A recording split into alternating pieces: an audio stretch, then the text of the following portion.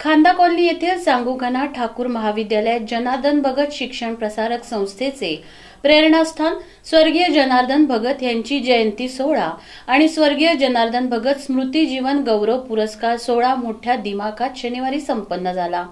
या सोहळ्यात स्वर्गीय जनार्दन भगत स्मृती जीवन गौरव पुरस्काराने रयत शिक्षण संस्थेचे माजी चेअरमन थोर विचारवंत प्राध्यापक डॉक्टर एन डी पाटील यांचा नामदार दिलीप वळसे पाटील यांच्या हस्ते सन्मान करण्यात आला.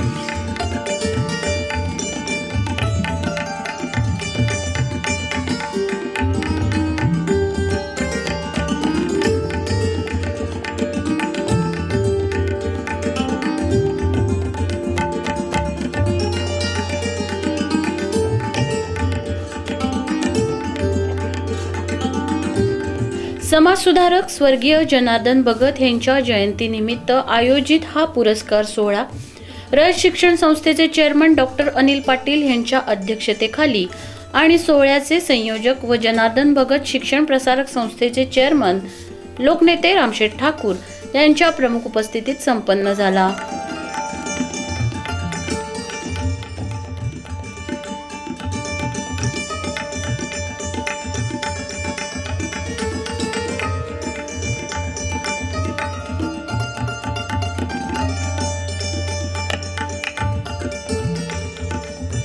यावेळी रायगडच्या पालकमंत्री अदिती तटकरे खासदार श्रीरंग बारणे भाजपचे उत्तर रायगड जिल्हाध्यक्ष आमदार प्रशांत ठाकूर माजी शालेय शिक्षण मंत्री आशिष शेलार रायगडचे माजी पालकमंत्री रवींद्र चव्हाण आमदार महेश बालदी एन डी पाटील यांच्या पत्नी सरोजिनी पाटील महापौर डॉक्टर कविता चौतमल रयतचे व्हाईस चेअरमन भगीरथ शिंदे इंटकचे राष्ट्रीय सचिव महेंद्र घरत उपमहापौर जगदीश गायकवाड माजी नगराध्यक्ष जे एम म्हात्रे ज्येष्ठ पत्रकार मधुकर भावे शिवसेनेचे जिल्हा सल्लागार बबन पाटील रयत संस्थेचे मॅनेजिंग कौन्सिल सदस्य संजीव पाटील मीना जगधने दशरथ भगत जनार्दन भगत शिक्षण संस्थेचे अध्यक्ष Arun Sheth Bhagat vice chairman Y T Deshmukh संचालक शकुंतला ठाकूर परेश ठाकूर वर्षा ठाकूर अर्चना ठाकूर संजय भगत हरिश्चंद्र पाटील अनिल भगत संजय पाटील अतुल पाटील यांच्यासह नगरसेवक नगरसेविका जिल्हा परिषद पंचायत समिती सदस्य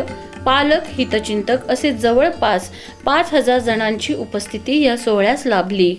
आज आपण जनार्दन भगत साहेबांची ब्याण्णवी जयंती साजरी करण्याकरता आणि भगत साहेबांच्या जन्मदिनानिमित्तानं आणि महाराष्ट्रातीलच नव्हे तर राष्ट्रीय स्तरावर सुद्धा त्यांनी वैचारिक सामाजिक शैक्षणिक आणि राजकीय भरीव कामगिरी केलेली आहे अशा आपल्या लाडक्या प्राध्यापक डॉक्टर एन डी पाटील साहेबांना भगत साहेबांच्या नावाचा जीवन गौरव पुरस्कार प्रदान करण्याकरता जमलो आहोत. आज जनार्दन भगत साहेबांची ब्याण्णवी जयंती.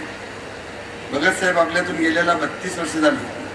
त्यांची पुण्यतिथी प्रत्येक सात मे रोजी आम्ही साजरी करत असतो. पण जयंतीचा सोहळा मोठ्या प्रमाणात आपण आजच साजरा करीत आहोत.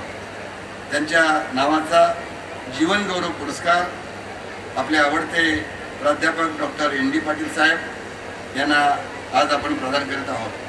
आम्हाला या गोष्टीचा अतिशय आनंद होता मला असं वाटतं की हा वैविध्यपूर्ण असलेला कार्यक्रम ऐतिहासिक सोहळा याचं कारण केवळ प्रथम पुरस्कार एवढा पुरतं नाही. मगाशच्या गीतामध्ये आपण ऐकलं एका छोट्या गावात जन्म घेतल्यानंतर सुद्धा संयुक्त महाराष्ट्राच्या चळवळीत आपलं योगदान दिल्यानंतर आता माझा महाराष्ट्र हा स्वतंत्र झाला महाराष्ट्राची निर्मिती झाली.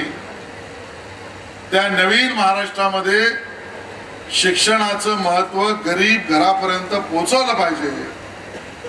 हे कर्मवीर भाऊराव पाटलांनी मांडलेले विचार आणि त्याचा वसा मान्य एन डी पाटील साहेब आणि त्यानंतर रयत शिक्षण अनिल पाटील जी आहेत आमचे शरदचंद्र पवार साहेब आहेत या सगळ्यातना पुढे नेण्याचं काम आमच्या रामशेठ ठाकूरांनी त्या ठिकाणी केलं. आणि असं म्हटलं जातं दान दिल्याने देणारा वाढतो पण दान कुठलं कुठलं असू शकतं? मला कुठल्याही दानाची किंमत कमी करायची नाही. पण दिलीप वळसे पाटील साहेब असं म्हटलं जातं जो विद्याचं दान काम करतो तो केवळ एक पिढी घडवत नसून तो एक समाज घडवत असतो. आणि ते काम रामशेठ ठाकूर आणि जनार्दन भगत यांनी त्या ठिकाणी लावलेल्या रूपातून सुरू झाले. एका महान तपस्वीचा आज पुरस्कार देऊन गुणगौरव आपल्या सर्वांच्या साक्षीने या ठिकाणी होतोय. स्वतःच्या कर्तृत्वानं या राज्यामध्ये आणि देशामध्ये एक वेगळ्या प्रकारची ओळख आदरणीय प्राध्यापक एन डी पाटील साहेब यांनी निर्माण केली. या राज्याच्या स्वातंत्र्याच्या चळवळीमध्ये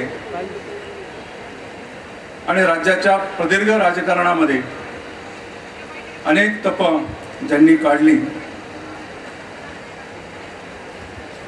ज्यांच्या कर्तृत्वाचं वाचन करून आम्ही देखील सामाजिक आणि राजकीय जीवनामध्ये त्यांच्याविषयी ऐकलेल्या त्यांच्या आचरणात असलेल्या गोष्टी देखील आम्ही करतो. त्या आदरणीय एन डी पाटलांचा सन्मान गौरवाने होतोय. खरं तर पाटील साहेबांना अनेक पुरस्कार देऊन यावर देखील गौरवलेले आहे.